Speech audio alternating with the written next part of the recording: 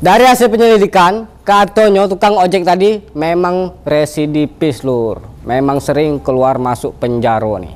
Hmm. Nih, nih uh, buat kawan-kawan semuanya, untuk dulu-dulu semuanya, supaya hati-hati lur. Dengan orang yang tidak kita kenal. Kayak gini nih, agak jadinya. Kayak mana pantauannya? Nih dia pantauan Bang Jack.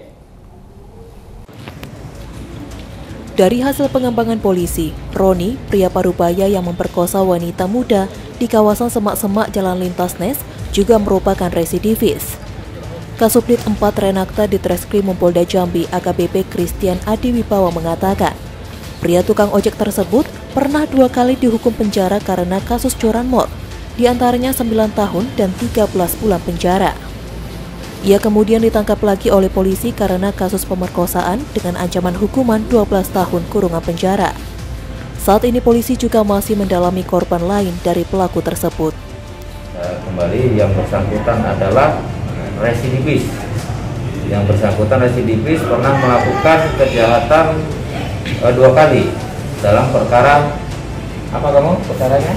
Curanmor. Curanmor. Dimas Sanjaya, Cek TV, melaporkan.